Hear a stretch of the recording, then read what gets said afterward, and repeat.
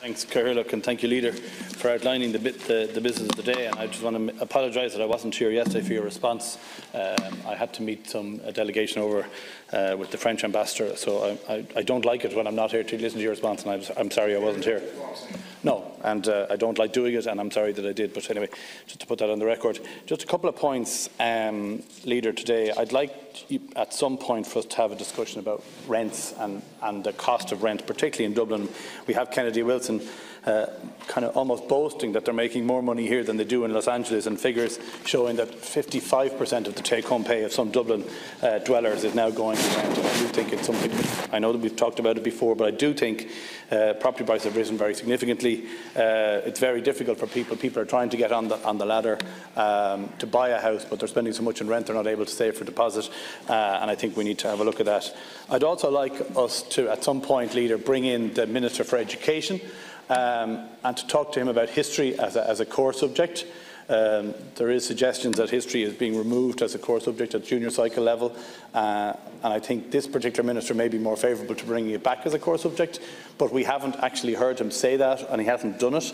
Uh, so I would like us to have a discussion sooner rather than later on that particular matter. Uh, I also think I'd like to bring in uh, the Minister for Health in terms of hospital consultants. Um, there's a very, very significant shortage. We heard at the weekend. I know the Minister for Health wasn't able to attend the, the conference. He had a diary clash, apparently.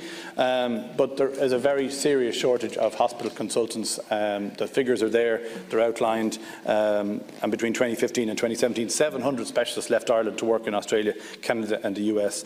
Uh, I know parity of, of, equal pay and so on is, is, is part of that.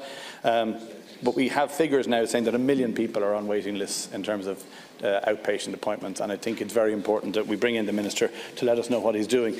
And finally, um, Leader, I just want you to bring in, or again, uh, as a matter of urgency, really, uh, the Minister for Housing, Planning and Local Government in relation to uh, political donations. And we had a lot of talk yesterday about how parties were being funded and so on.